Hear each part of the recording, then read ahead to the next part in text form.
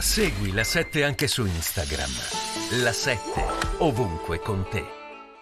L'importanza di questo fondo, di cui sono cofirmataria insieme all'onorevole Raffa, che poi è stato sottoscritto anche da tutti i gruppi, anche a dimostrare la trasversalità del, del problema, è importante perché è la prima misura che attua il principio che è stato inserito recentemente in Costituzione, il principio di insularità, eh. che sancisce il fatto che c'è una disparità di chi ha una condizione insulare di eh, collegamento, di, quindi di continuità territoriale eh, e di altre, e di altre, come esatto. E di altre, sì, siamo cittadini italiani come gli altri. Certo. Eh, perché è importante? Perché è un fondo che avrà una dotazione di 5 milioni quest'anno e di 15 eh, nel 2024, quindi 5 nel 2023 e 15 nel 2024, che aiuterà la Regione ad avere maggiore massa critica per poter stipulare i bandi per la continuità territoriale. Cioè, quindi diciamo, significa, per trattare sì, poi, no, quindi significa avere più capacità finanziaria per poter trattare con le compagnie aeree, con le compagnie marittime, per poter aumentare le tratte, per poterle fare più capillari, per poter chiaramente garantire gli spostamenti certo. di uomini e di merci. Eh, tweet, eh, Quindi la Tode eh, vota la fiducia, abbiamo Come? capito